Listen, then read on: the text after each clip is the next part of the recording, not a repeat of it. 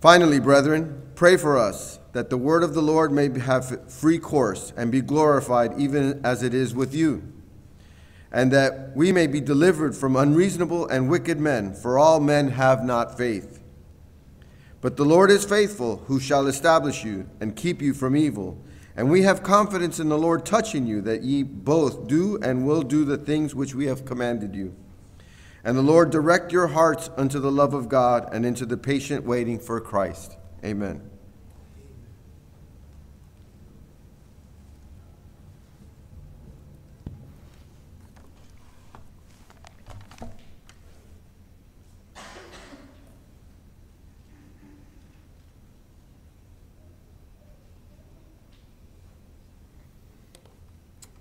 Well, with that reading of Second Thessalonians chapter 3 and verse 1 was our primary text.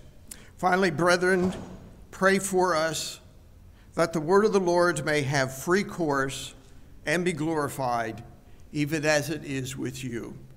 Let's look to the Lord in prayer and asking Him now to uh, have free course in our hearts as we engage our minds into this part of the worship service called the sermon. Father, we invite your Holy Spirit to be the supervisor. Allow him to be the teacher, the preacher.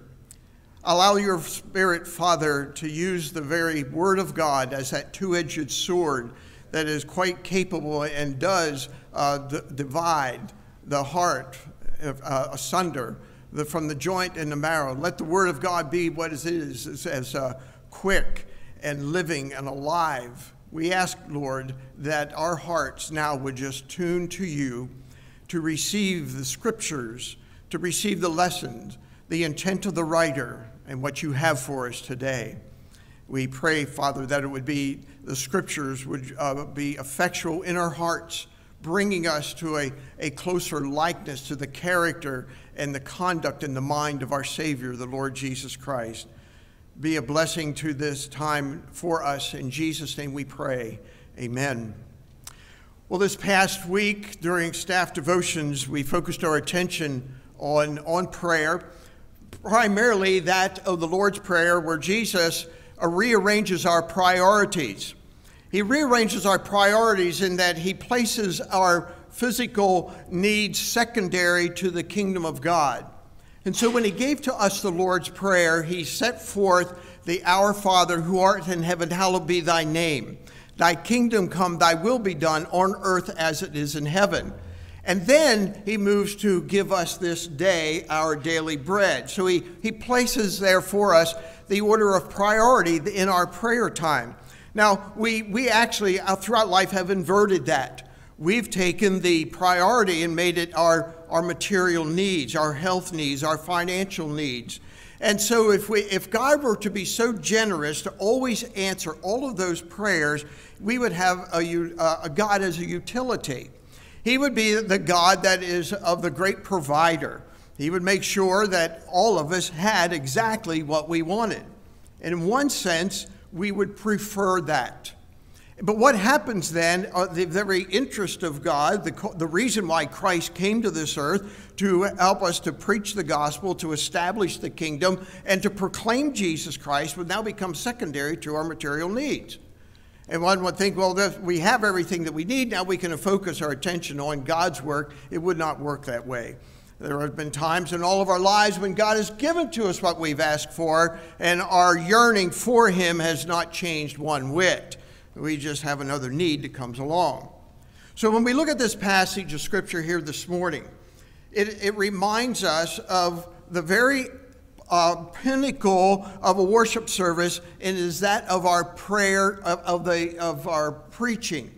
In that, from whatever happens in the back room here in my office, the preparation of the sermon, to the delivery of the sermon, to the receiving of the sermon, Paul reminds us that prayer is essential for all of these things so that this word of God will be able to move swiftly and find its place by way of regeneration or sanctification in the hearts of the listeners. So, as we look at this, we'll divide the text just basically into five different parts.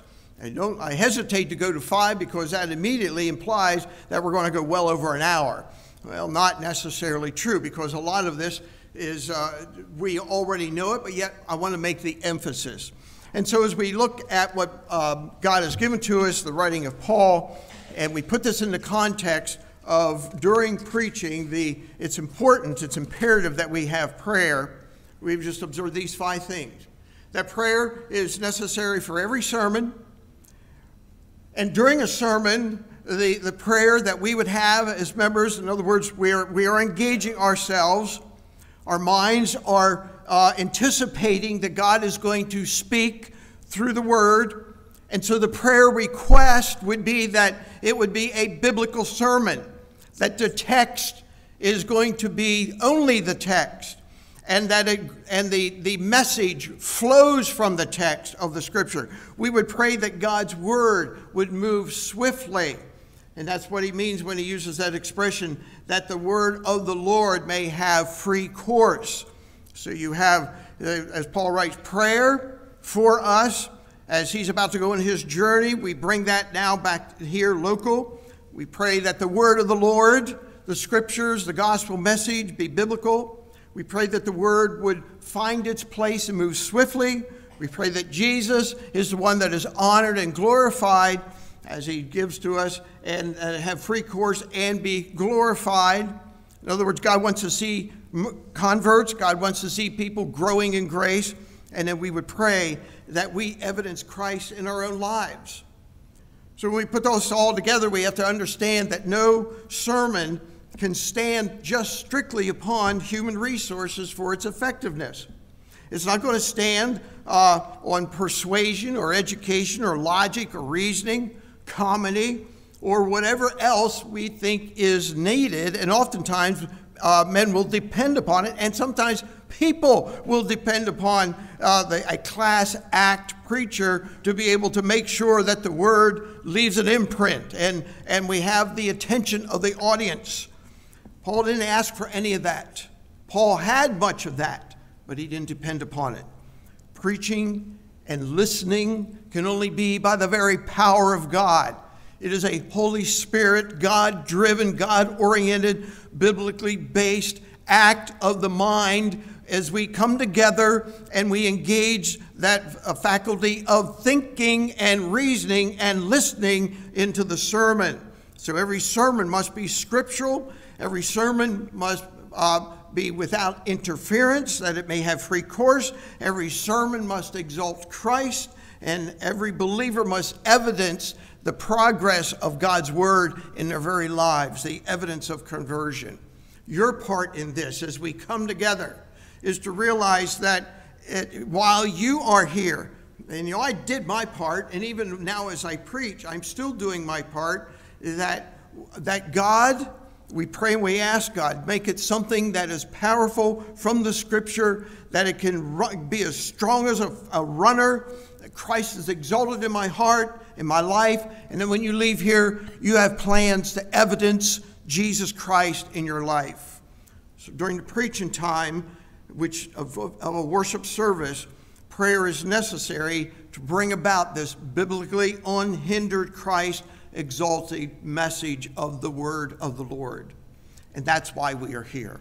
And while we are here, we want to make sure that we have a proper preparation during the course of the message. It really, the great benefit is because our, our prone to wonder, Lord, I know it. And we have a, a lot of things are heavier upon our mind. I'm not even going to mention one because you might be distracted by the mere mention. But we know that we bring baggage and luggage and, and other interest with us into the auditorium if we focus on the idea that here that, that, we've done the singing, now the preacher is going to present the word of the Lord, and we've, we've been to focus our Our Father who art in heaven, hallowed be thy name, thy kingdom come, allow the, the kingdom work, the kingdom message of the Lord, let it have precedence, let it have a priority in my life, let it press deep into my heart. That would be our prayer. Now we are engaging our body, our soul, and our spirit, and our mind into the, the most important part of the one hour or so that we are here. So, the first point that we look at is that of uh, prayer is necessary for every sermon. because it is precedes preaching. When uh, I would highly recommend, you know, the, the psalmist says this come into his gates with thanksgiving, with praise upon our lips. We might also say, come into his gates with prayer and prayer upon our lips. We have no idea. You do not know. Sometimes I do not know what the sermon on Sunday morning is going to be. It is a cause for prayer. We're asking God to give me a message for you and for myself that God would do the work through the pulpit, through the preacher. So the preparation can only be effective if it was preceded by, as Paul said, pray for us. As he's going to go on his journey, he realizes he cannot do this on his own strength. This preacher cannot prepare a sermon on his own. It's just not going to work. I can talk to you about Fox News. I can give you the headlines. I can tell you about the uh, political breakfast we attended yesterday and all the, the progress that is making in Tallahassee. And, but that's not a sermon. That's rhetoric. That's news. And there's enough of that to go around. We all uh, must recognize the fact that not everybody on every Sunday uh, are believers. Paul writes, and he says that we be delivered from unreasonable wicked men, from not all men have faith. Paul realized that as he would go about and he would preach, not everybody out there was going to be a Christian, and there would be those that would oppose to it. But at the same time, we pray for their salvation. And we want to pray that God goes to work in our hearts. He gives us some of that in the verses that follow. For example, beginning at verse 3 But the Lord is faithful, who shall establish you and keep you from evil. And we have confidence in the Lord touching you that you both will do and will do the things which we command. Verse 5 And the Lord direct your hearts into the love of God in the patient waiting for Christ. That is another way of saying we're watching God do a work within our hearts. And we invite Him we, to that, do that. We surrender our hearts. Sometimes we have to pray for a surrendered heart, we have to pray for an open heart. And so, the, the, the very onset, as Brother Charlie reads the text, and then I come forward to, to explain the text and then to apply the text. Your responsibility, my responsibility, is that this is not something that stands by itself. We must pray for the effectual working of the passage of Scripture to be applied to our hearts. As this continues on, the next thing we'd recognize that we would ask, dearly ask the Lord, that the uh, sermon hold biblical content and that it would be accurate. We are dealing with the word of the Lord. In the Old Testament, that was the expression for divine authority. The prophets, thus saith the word of the Lord. The word of the Lord says this. And he would speak to Isaiah and to Jeremiah and some of the others.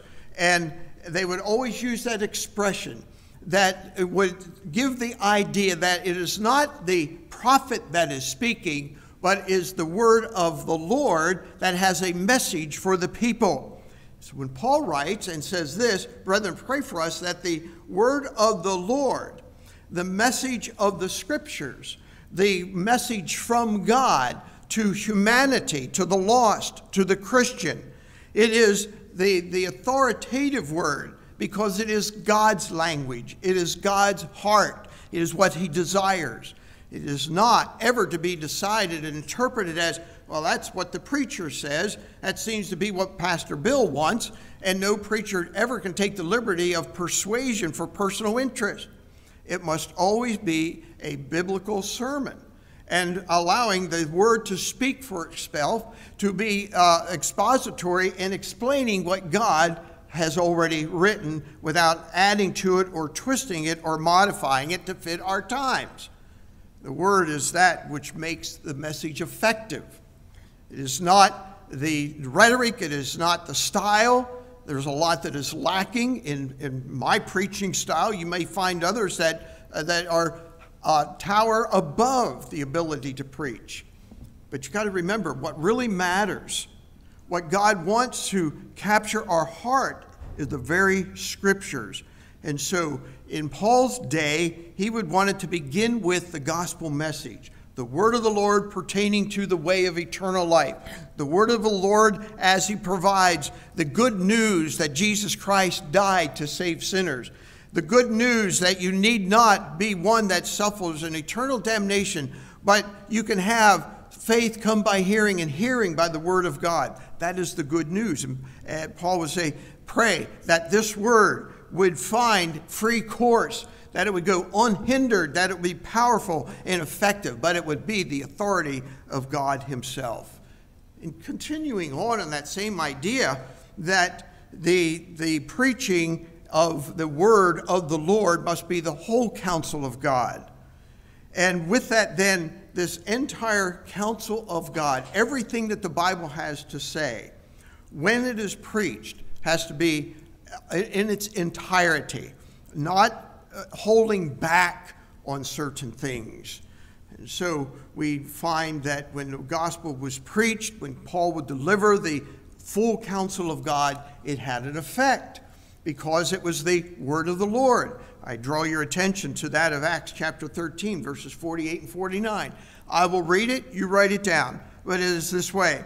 And when the Gentiles heard this, they began, they began rejoicing and glorifying the word of the Lord. And as many has been appointed to eternal life believed, and the word of the Lord was being spread throughout the whole region. When they heard that God was interested in them as a people separate from Israel, and the message that was given to Israel they rejected, and now when they turned, Paul says, I turned it over to the Gentiles. When they heard that, that they had been invited to receive eternal life, to receive God's grace.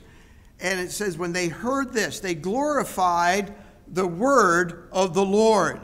They did not glorify Paul, they did not glorify the, the outline of his sermon. They heard the authority of God, that they are invited, they have been brought in and participants of the kingdom message. And so they glorified that word of God and as many as have been appointed to eternal life believed. They responded to the invitation to come, ye sinners that are weak and weary. So we see that the sermon, when it is biblical and when it follows the, the, the, uh, the, the, biblical language and the outline and the message, the original, original intent of the writer, it brings about that sense that God's word is wonderful. That should be what you look for at the end of any message that you hear. That when you leave here, you want to be able to say something to this effect that God's word spoke to my heart. Try to do as John would, John would hide behind Jesus Christ. John the Baptist wanted Jesus Christ to increase while he would decrease. As recipients of the scriptures, when they are being preached, we want it to be so that what you hear, what you see, is the operation of God. And it requires prayer to be able to do that because we are a, a, a people that we grew up with everything coming at us delivered by men and their skills and abilities. But what God is requiring of us is that we pray that the biblically oriented sermon, the text and the context have full reign, full authority, and free course. And the only way that it can be that is if it is the word of God with all of its power and all of its authority. Third, we'd look and we'd ask that God would have the word of God to move swiftly. The idea of swiftness there is what you see in the in the first uh, definition is given to, to speed on or to make progress. It was used in two different ways during that time. Paul probably used it in the sense of athletics, the runners, during the, the, uh, the races that would take place with the Greeks and the Romans. And so the image is of a strong runner, and all the hindrances that might impede his progress and his speed are removed but at the same time, he's pressing toward a goal and he's moving with all diligence and power and might. And so there's this, this image of a, a runner strenuously moving forward. The Greeks, in their odysseys and their stories, would speak of, of the, uh, the free course or to speed on in terms of men that were in times of peril and shipwreck. And so all energy and all effort and all strength were invested into saving and the rescuing of the ship and the men on board, even the saving of their own lives. And so the picture is that the Word of God would have free course. That is, that it would be able to move effective, that it would be powerful and strenuous and, and reach its objective unhindered. So, where does that leave us? Well, we know that when God dispatches His word, it moves swiftly. For example, concerning the weather, ice, snow, wind, and rain, etc., he's in Psalm 147 and verse 15. He sends forth his commandment upon the earth. His word runs very swiftly. So we get the image that the word is a, uh, a metaphor as it has feet, and it's a command issued by God, and it is dispatched, and it tells the elements of the weather what to do. So it just helps add to that concept that when we talk about the word of the Lord and we want it to move, we're saying that it's advancing, it's finding place, changing hearts, changing the way we think, changing the way we live. It's identifying the sin of every individual, the unbeliever and his own belief, and, be, and bringing about conversions and, and people to Jesus Christ. It is a work of the Holy Spirit in that it is not just the word itself, but God, Holy Spirit, is the one that prepares, draws men, calls them in, and gives them the ability to receive and understand. Our duty would include that of minimizing distractions and that begins with our, with our own preparation. The, the, the, any anything that might draw our attention away from this authoritative language of the Scripture. And we would ask that it would move swiftly to make, bring about progress in our own hearts. Where are we lacking? What is needed? Am I owning up to the, the call of the, of, the, of the scriptures, the commands that are there? When you read what Paul says, and we command you, brethren, in the name of the Lord Jesus Christ, that you uh, withdraw yourself. He gives a command. And uh, just prior to that, he talks about the confidence that he has in verse 4 in the Lord, touching you that you will both do and will do the things that we command the scriptures anticipate a response, and the response is that of obedience. And our response to that statement of the Word of God is that God make it possible that there can be this biblical progress happening within my own heart. And that would be a case as we sing in our meditation hymn at the beginning Change my heart, O God, make me more like you. You've already been practicing some of this just prior to the preaching of the scripture. Number four, we would pray that Jesus is glorified by our salvation. We're asking that when God uses the scriptures, that it brings about the, the, uh, the evidence of salvation.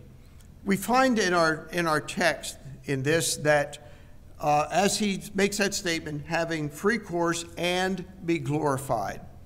Another way of saying that is to say that we want to be able to observe and know that Jesus is the author and the finisher of our faith. He is the one that becomes, as the author of faith, that people uh, are saved because of the scriptures directing their hearts to the merits of Jesus Christ. And so when an individual comes forward, when one confesses Christ as their Savior, it's not because of what everybody else was doing or a, a simple misunderstanding, but rather Jesus is the author of, he brought in salvation to that individual's life. And because Paul's prayer request is gospel oriented, that is the, the first prayer request that everybody would have in their own heart. Lord, introduce me to your Son, Jesus Christ. Allow him be that salvation is of the Lord. And allow him to be the finisher of my faith. Allow Jesus to be the one where I end faithfully serving him and honoring him and worshiping him. When you look at the scriptures, Acts chapter 13, And we read this And the next Sabbath day, beginning of verse 44, they, they, the next Sabbath day came almost the whole city together to hear the word of God. But when the Jews saw the multitude, they were filled with envy and spake against those things that were preached by Paul, contradicting and blaspheming. Then Paul and Barnabas waxed bold and said, It is necessary that the word of God should first have been spoken to you. But seeing that you put it from you, judge yourselves unworthy of the everlasting life. Lo, we turn to the Gentiles so that when the Lord commanded us, saying, I have set thee to be a light to the Gentiles, that thou shouldest be for salvation on to the ends of the earth. The gospel was to be mainly presented by Israel. They rejected the gospel, they rejected God, Jesus Christ, and so the same message now is going to be preached to the Gentiles, and this is what he says next. And have set the light to the Gentiles, that you would be salvation unto the ends of the earth when the Gentiles heard this, mainly that now salvation was toward them, they were glad. They glorified the Lord. And as I read before, and as many as were ordained to eternal life. And so this is the effect of that what God looks for. He looks for this glorifying, this magnifying, this exaltation of Jesus Christ. The times in which we live, are no different than the times in which Paul lived. When Paul went to Corinth, he knew what he was up against. He knew he was up against the philosophers, the, the great speakers. He knew that every time a man would stand up to speak, that he was in a contest. And there was a point system that was used by the, the listeners as to whether or not they enjoyed this man's presentation of his philosophy and his, of his speech, his theme or his subject. So when Paul enters into the city of Corinth and he has the opportunity to speak, he's very careful that he does not follow the trendiness of the times and try and win the favor of the audience. But rather, we find that Paul in 1 Corinthians chapter 2, verses 4 and 5, in my speech and my preaching was not with enticing words of man's wisdom. That is option number one the enticing words of man's wisdom. Why do I say that? Because we enjoy enticing words of man's wisdom.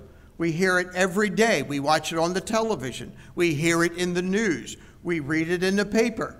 We want something that captures our interest, and the best way that that can be accomplished is when when uh, sentences and paragraph are carefully crafted in such a way that it, it uh, calls for us to listen and to pay attention. And Paul says, That's not how I presented myself.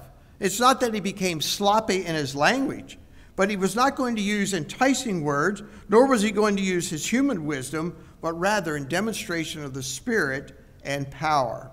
The prayer that Christ be glorified is to pray that the Holy Spirit of power of God would have free course to be able to move carefully and precisely in my heart. That your faith should not stand in the wisdom of men, but in the power of God. Will always be a contest. Every time the scriptures are being preached, there is going to be this contest in the heart of the listener. Am I looking for wisdom or am I looking for the power of God?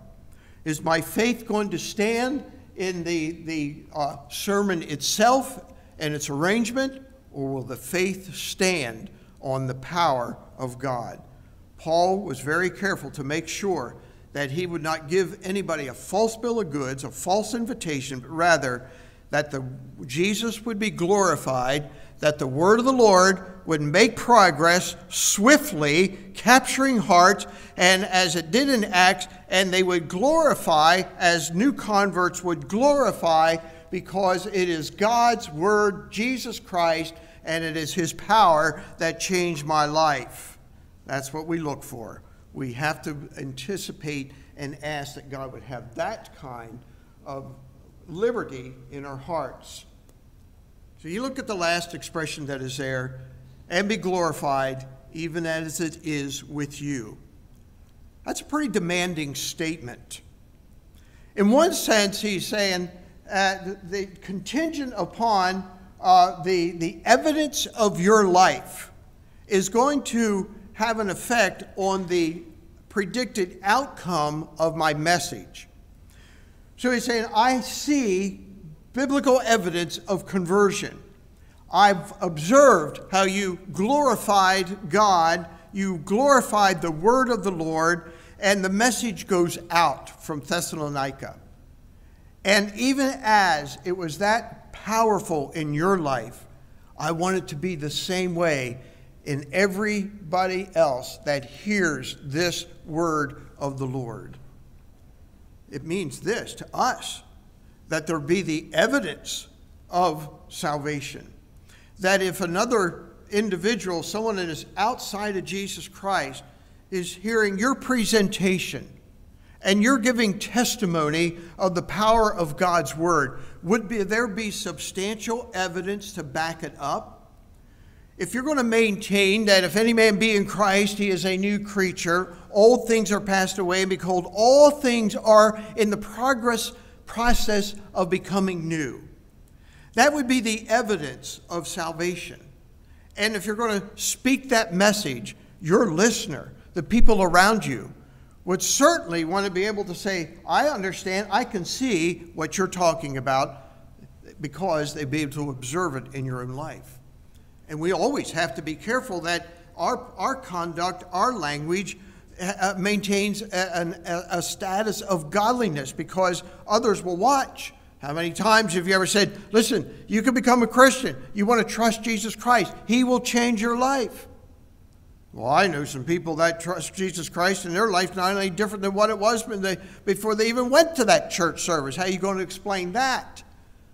I really can't other than the fact that perhaps the Word of God did not really take root.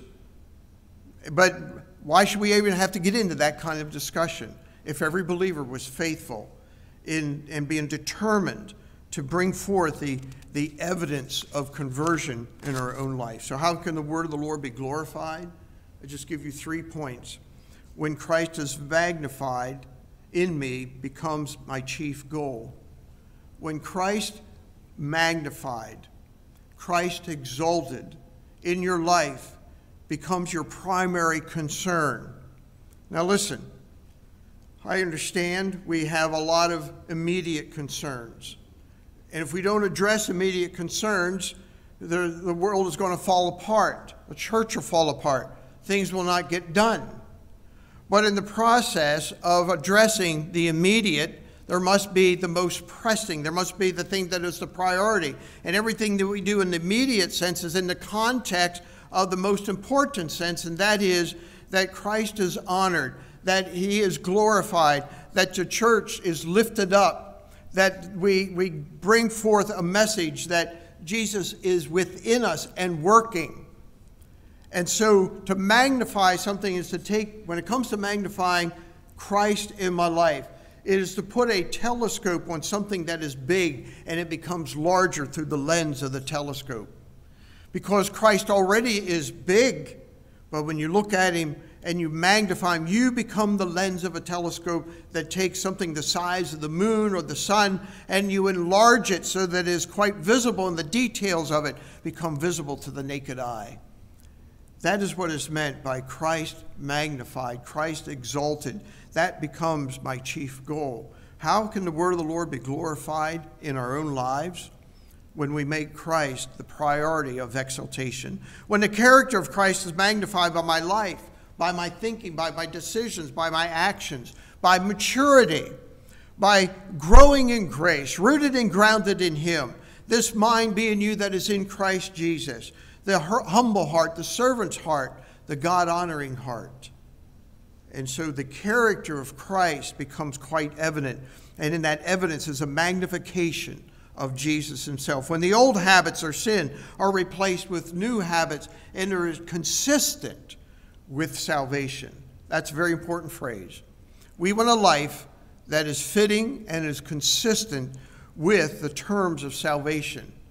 That is regeneration, a new birth, a new beginning, a new life a new goal, a new God, new Savior. And the consistency of habits fits with the pattern of the expectation of the Scripture of what it means to be saved. We could say it this way to be glorified even as in you, or the word of the Lord is glorified in you, or the gospel is glorified in you. That's what Paul is saying. And so his prayer and our prayer is that as, as we preach and you're listening, and as the preparation is taking place, you're, you're asking God just to continually work a biblically oriented sermon, a sermon that the scriptures will be able to run swiftly, unhindered, and, and uh, uh, enter in to the mind, the will, and the emotions. That Christ is exalted. If not through conversion, it's going to be the maturity, the growing up, acting uh, and behaving like Jesus Christ. And on this, then, on a, on a daily basis. So, what are we going to take home from something like this?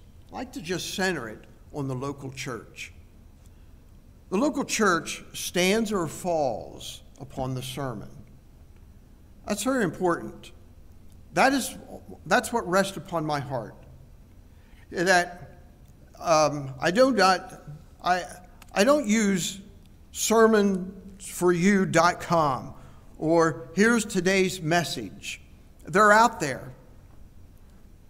Personally, I go before the throne of grace and I ask God, you know what? What is it?